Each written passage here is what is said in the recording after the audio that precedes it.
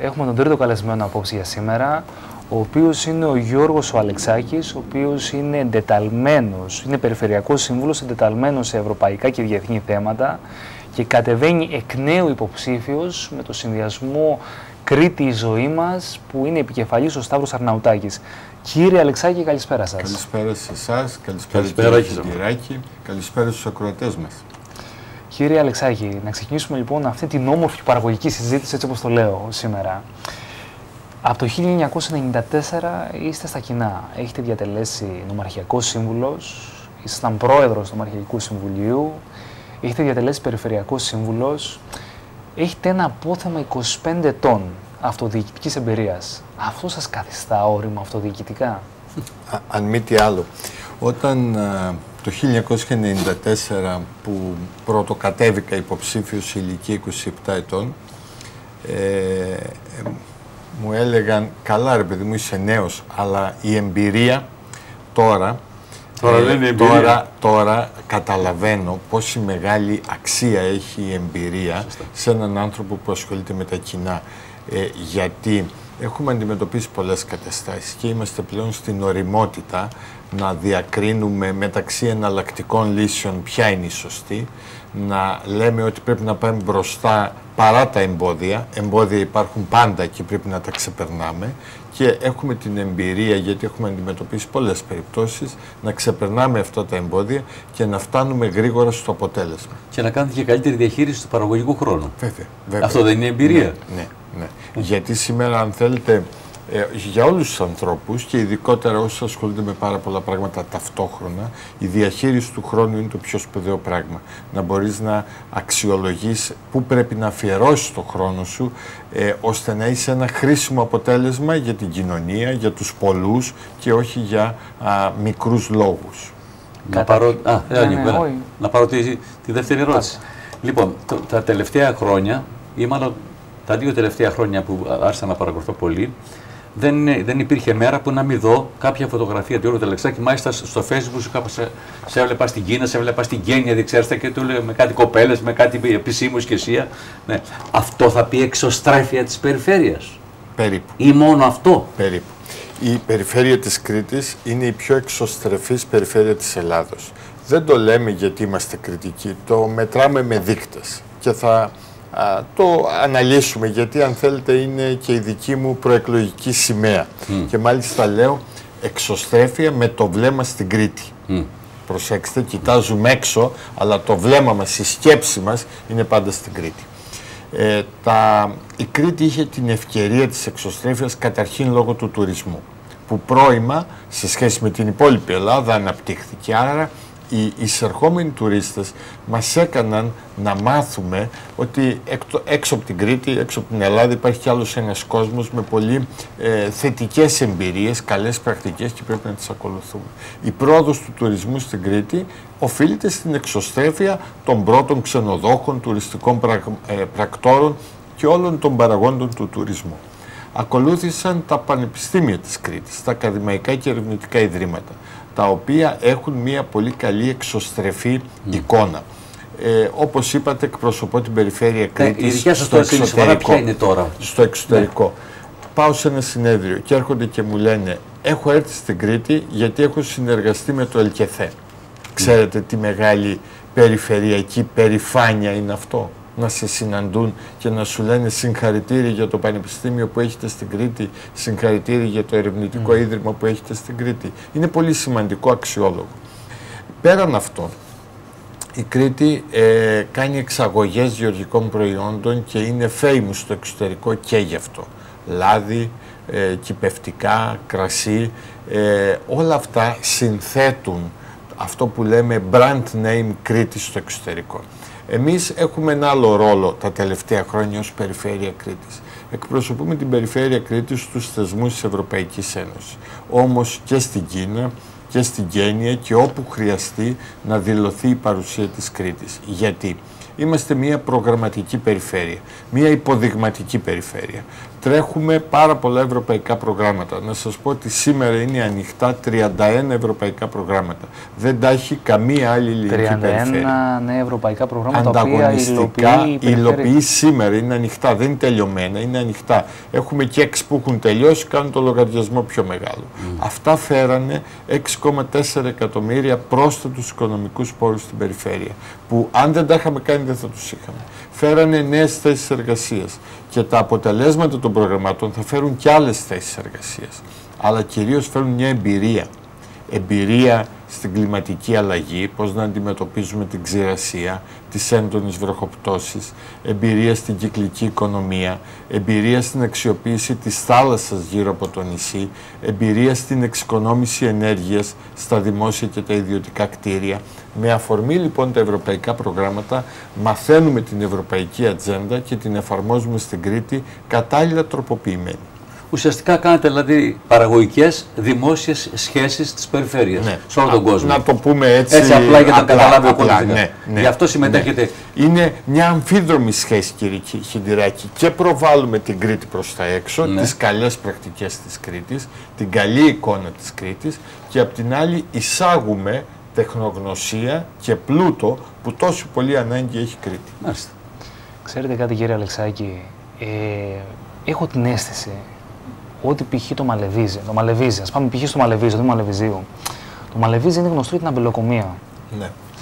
Ωστόσο, εγώ πιστεύω ότι δεν έχει αναπτυχθεί ένα σχέδιο κατάλληλο αγροτουρισμού, ώστε να υπάρξει αυτό που ονομάζουμε αγροτουρισμός, να υπάρξει δηλαδή μια ε, τουριστική κίνηση, στην οποία ο πυρήνας της τουριστικής κίνησης θα είναι ο αγροτικός τομέας. Θα είναι ο αγροτικός τομέας, θα είναι ο πρωτογενής τομέας παραγωγής. Και θα μπορούσε η περιφέρεια να κάνει το ρόλο αυτό. να Δεν παίξει. νομίζω ότι η περιφέρεια πρέπει να συντελέσει κάποιο κομβικό ρόλο εκεί.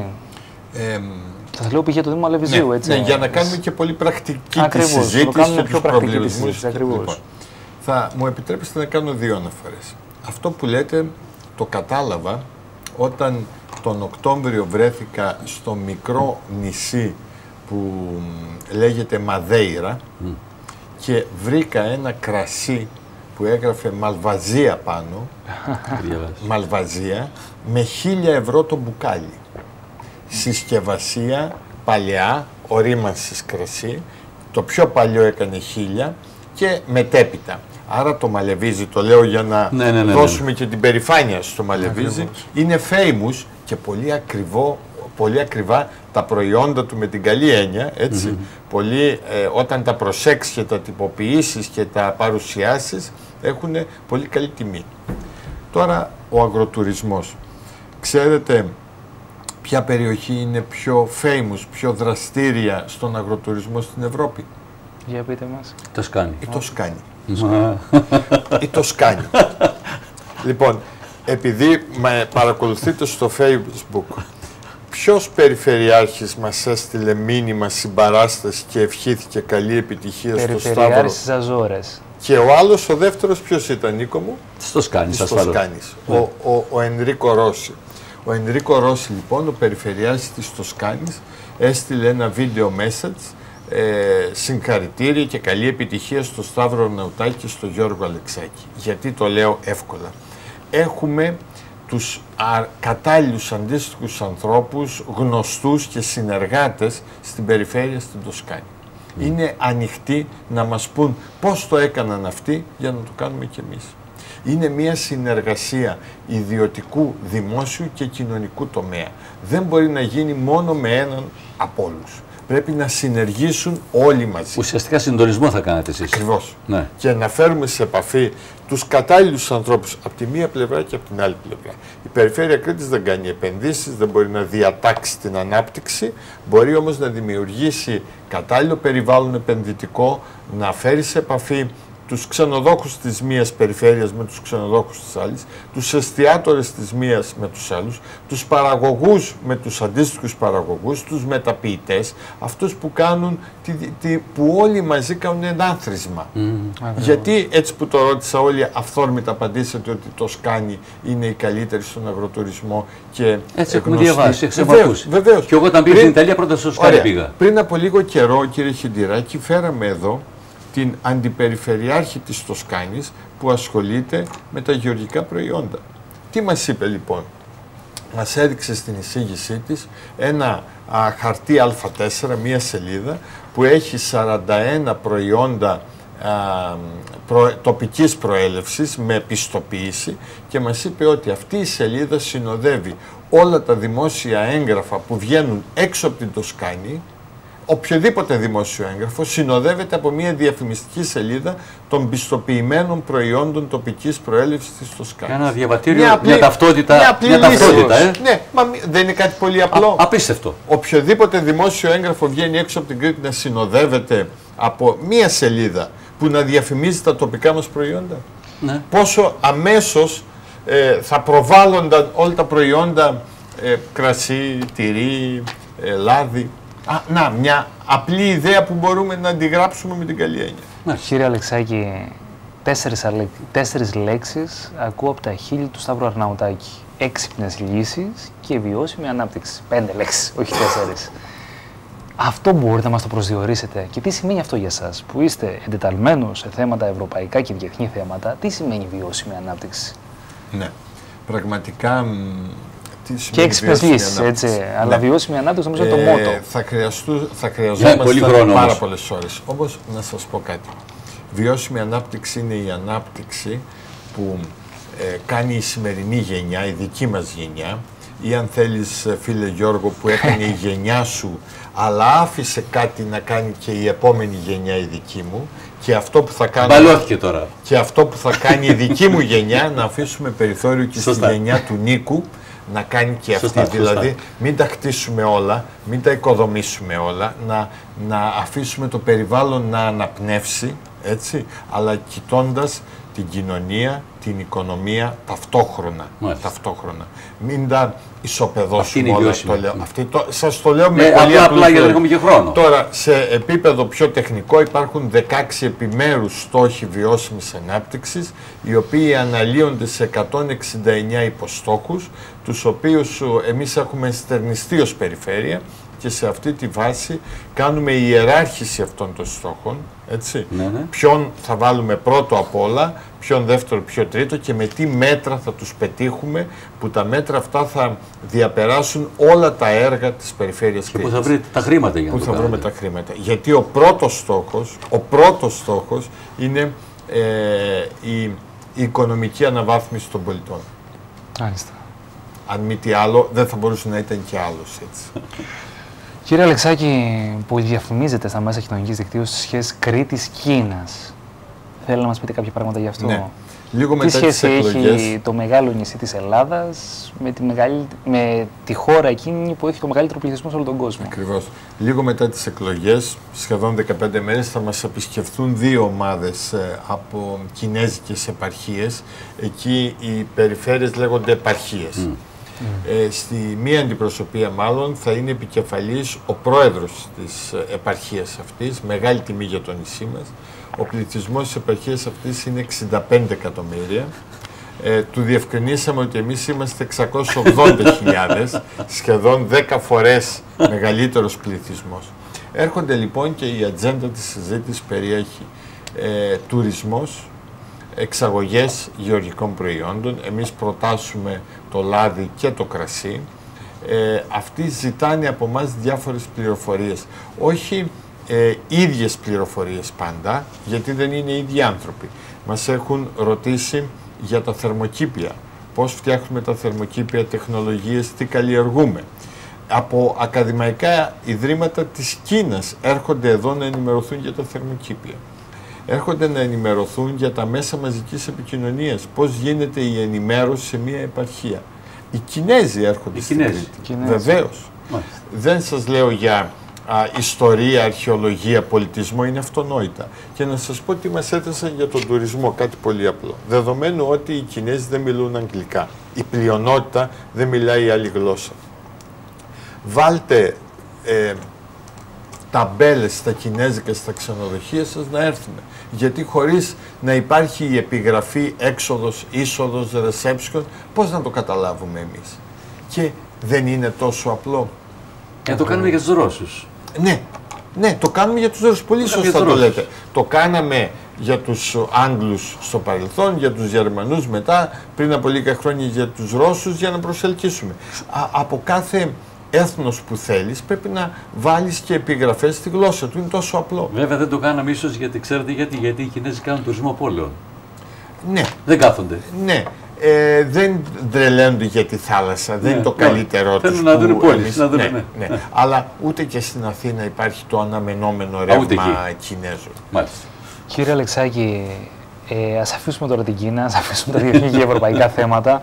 Ας πάμε λίγο εδώ, στην περιφέρεια Κρήτης και θέλω να σταθώ λίγο στο ΒΟΑΚ, Βόρειος Οδικός Άξονας. Πιστεύω ότι είναι το στίχημα της περιφέρειας Κρήτης. Είναι το στίχημα Για την της επόμενη Κρήτης, μέρα. Της Κρήτης, όχι της Κρήτης. περιφέρειας. Η περιφέρεια Κρήτης δεν έχει ευθύνη για τον ΒΟΑΚ, πρώτο ζητούμενο. Δεύτερο, έχει μεγάλη συνέστηση της ανάγκης του ΒΟΑΚ. Αντα, ε, ανταποκρινόμενη στο αίσθημα, στην αγανάκτηση, στην αγωνία, στην επιθυμία όλων των κριτικών να έχουν επιτέλους ένα σύγχρονο αυτοκινητόδρομο από τη μία άκρη του νησιού μέχρι την άλλη άκρη. Για γρήγορη Από το μετακίνηση και Καστέλι- ασφαλεία. Και ασφαλεία. από το Καστέλ Κισάμου μέχρι τη Σιτία να πηγαίνεις με ένα σύγχρονο αυτοκινητόδρομο ασφαλή και εγώ θα έλεγα και δωρεάν ή δυνατόν. Μάλιστα. Επειδή τελείωσαν τα μεγάλα έργα στην υπόλοιπη Ελλάδα, το κεντρικό κράτος, η Αθήνα δηλαδή, αποφάσισε επιτέλους να ασχοληθεί με το ΒΟΑΚ. Και γι' αυτό πήραν, η πρώτη τους δουλειά ήταν να πάρουν τις αρμοδιότητες από τον Οργανισμό Ανάπτυξης Κρήτης και να τις έχουν πλέον στην Αθήνα να τις χειρίζονται. Σωστά. Και αυτό δεν μας ικανοποιεί καθόλου. Όπως δεν μας ικανοποιεί ότι η εγκεκριμένη χάραξη του βόρειου οδικού άξονα, όπως είπε ο Υπουργός πριν δύο μήνες, δεν έχει δοθεί ακόμα στη δημοσιότητα. Μμ. Δεν μας ικανοποιεί ότι δεν έχουμε ένα α, δεσμευτικό χρονοδιάγραμμα. Για όλα αυτά η Περιφέρεια Κρήτης, ο Σταύρος Αρανοτέτης παλεύει, αγωνίζεται, τα θέτει. Το έθεσε στον Πρωθυπουργό, αν θυμάστε πριν λίγες Ναι, αλλά έτσι ημέρες. το λέτε όμως είναι σαν να λέτε μήπως είναι προεκλογική αυτή η δέσμευση. Όχι, όχι. Είναι η πρώτη φορά που έχουμε μια εγκεκριμένη χάραξη, αλλά δυστυχώς δεν την ξέρουμε.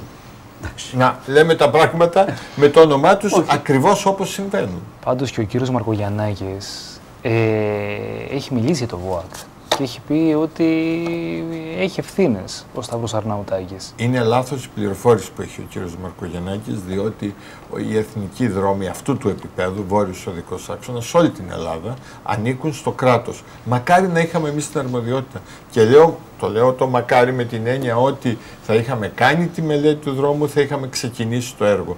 Να σας θυμίσω ότι αυτή η κυβέρνηση ακύρωσε ένα έργο το Πάνορμο Εξάντη με ε, Μμ. 80 εκατομμύρια. Ακριβώς. Αν εμείς είχαμε την αρμοδιότητα, γιατί να μην το κάναμε; Ε, το δρόμο Ηράκλειο Μεσαρά, την αρμοδιότητα την έχει το Υπουργείο. Δυστυχώς δεν την έχει η Περιφέρεια.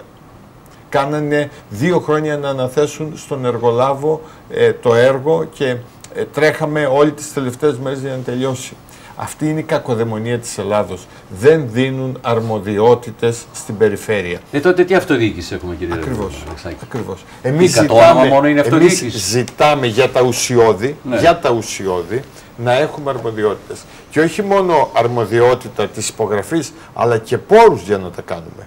Πιστεύετε ότι ο, η κόμβη στην Αγία, Βαρβα, στην Αγία, Αγία Πελαγία, Πελαγία. Στην Αγία που Πελαγία. ξεκινάνε τώρα θα γίνουν με τεχνική επίβλεψη Και από μιλάμε την για ένα Αθήνα. έργο 5 εκατομμυρίων Από ευρώ, την έτσι. Αθήνα τεχνική επίβλεψη. Είναι σωστό. Ε, δεν είναι σωστό. Ε, δεν είναι Ωραία. σωστό. Είναι το αυτονόητο. Όμως το ζητάμε από το Υπουργείο. Δώστε μας την αρμοδιότητα, δώστε μας τους πόρους να κάνουμε εμείς τα έργα και τότε θα δείτε μια άλλη Κρήτη. Γιατί, γιατί τα έργα θα τα κάνετε εσείς, ο Νίκος, που ο ένας μας ελέγχει τον άλλο κάθε μέρα. Δεν μπορείς να καθυστερήσεις. Το πολιτικό κέρδος το εισπράττουν τώρα άλλοι όμως. Ναι. Αυτό είναι το. Αυτό, αυτό είναι το. δυστυχώς. Ε, αυτό δεν μ' αρέσει. Γιατί η αποκέντρωση, η αποκέντρωση είναι εις βάρος του πελατειακού αθηνοκεντρικού συστήματος. Γιατί θέλει ένα έγγραφο έξι υπογραφές κύριε Χιτηράκη. Να υπογράφει ο υπάλληλος, ο προϊστάμενος, ο διευθυντής, ο γενικός διευθυντής, ο γενικός γραμματέας του Υπουργείου, ο Α, μη- υφυπουργός, α, μιλήσει ο για- υπουργός. Α, μιλήσει για γραφείο. Άχρηστες, άχρηστες υπογραφές. Μόνο και μόνο για να πηγαίνουμε να υποχρεωνόμαστε πολιτικά στον εκάστοτε υπουργό. Και εγώ δεν είδα καμιά κυβέρνηση να, α, να μειώνει τις υπογραφές. Αντίθετα, τις Η επαυξάνει. γραφειοκρατία, κύριε Τις Αλεξάκη, επαυξάνουν. ζει και βασιλεύει. Ναι, για να, για να ενδυναμώνεται, το ξαναλέω γιατί είμαι πολέμιος, του αθηνοκεντρικού, γραφειοκρατικού, πολιτικού συστήματος. Να Μάλιστα. πω ότι, ότι τα ακούμε πρώτη φορά αυτό σε αυτό το τραπέζι. Ε, όχι δα. Ναι. Δεν έχουν το θάρρος να το Εγώ, πούν άλλοι. εγώ, το, δεν λέω, έχουν το θάρρος να το εγώ πούν άλλοι. το λέω από το 1994. Μα νομίζω ότι έχει Είναι πολιτικό δια- κόσμο να πει την είναι- αλήθεια. Είναι διαχρονική Πάνω εκεί, παθογένεια. Από το γραφειοκρατικό 1994 προσωπικά το πιστεύω, το λέω. Να σας πω άλλα 10 παραδείγματα που συμβαίνει αυτό. Θέλουν την, όλη την Ελλάδα, δεν το κάνουν μόνο για την Κρήτη, για όλη Σωστά, την Ελλάδα σωστά. το κάνουν έτσι. Ναι, ναι. Τι θέλουν να είναι δεσμευμένοι στην Αθήνα. Να χρειάζεται να πάρεις υπογραφή από την Αθήνα. Μάλιστα. Κύριε Αλεξάκη, και ένα τελευταίο ερώτημα για να κλείσουμε. Το ερώτημα αυτό το βάζω σε όλους τους καλεσμένους σήμερα. Για ποιο λόγο να σας επιλέξει ο πολίτης Παύλα Δημότης Ηρακλείου. Ναι. Όχι μόνο Ηρακλείου, Όχι, όχι, ε, τη Μεσαράκη, περιφε- το πε- Μαλεβίζη. περιφερειακής Για ποιο λόγο να στηρίξεις ενότητας ένας Ηρακλείου. πολίτης της περιφέρειας; Ωραία. Να εκμεταλλευτώ αυτό το λογοπαίγνιο και να πω ότι εγώ ζω στο Ηράκλειο. Η καταγωγή του πατέρα μου είναι από το Μονοφάτσι, της μάνας μου από το Μαλεβίζη και είμαι παντρεμένος στη Μεσαρά. Άρα όπως είμαστε και, και οι τρεις μεσαρίτες. κάλυψα όλο το νομό. ε, γιατί; Γιατί νομίζω ότι μ, χρέος κάθε πολίτη είναι αφού συσκεφθεί με τον εαυτό του, με τη γυναίκα του, με την οικογένειά του, να επιλέξει το συνδυασμό που θα ψηφίσει. Στη συνέχεια να διαλέξει ποια πρόσωπα από αυτόν τον συνδυασμό είναι ικανά, έχουν τη δυνατότητα, τις γνώσεις, την εμπειρία να φέρουν εις πέρας το πρόγραμμα του συνδυασμού που επέλεξε αξιολογεί τους πάντες. Είμαστε, αυτή είναι η περίοδος της αξιολόγησης, έτσι. Ακριβώς. Ε, και μ, με, με τα όποια κριτήρια το κάθε άνθρωπος, αλλά κυρίως με το κριτήριο της ικανότητας υλοποίησης ενός οράματος, ενός συγκεκριμένου έργου. Η επαγγελματική επιτυχία ενός υποψηφίου παίζει ρόλο στην. Πολύ σημαντικό. Θεωρώ ότι κάθε ένας από εμάς, όταν είναι επιτυχημένος επαγγελματίας, έχει δείξει ότι μπορεί να κάνει δύο πράγματα, με, ε, μπορεί να διαχειριστεί και δημόσια πράγματα. Αν δεν έχεις ε, διαχειριστεί ιδιωτικές υποθέσεις, να το πούμε έτσι, επαγγελματικές υποθέσεις, που είναι ένα εφαλτήριο, είναι μια Ακριβώς. α, εμπειρία, είναι μια ε, εκπαίδευση. Δεν μπορείς να διαχειριστείς και δημόσια πράγματα. Εγώ είμαι περήφανος για την επαγγελματική μου δουλειά, διότι από το 1991 εργάζομαι ως ελεύθερος επαγγελματίας μηχανικός. Δεν σταμάτησα ποτέ. Από αυτό βιοπορίζομαι και από αυτό θα συνεχίσω να ζω ανεξαρτήτου αποτελέσματος. Μάλιστα. Κύριε Αλεξάκη, να σα ευχηθούμε καλή επιτυχία και σε Ευχαριστώ εσάς και πολύ. στην παράταξή σας. Φίλοι και φίλες, το τρίτο και τελευταίο μέρος της εκπομπής για σήμερα ολοκληρώθηκε. Σας ευχαριστούμε που μας παρακολουθήσατε.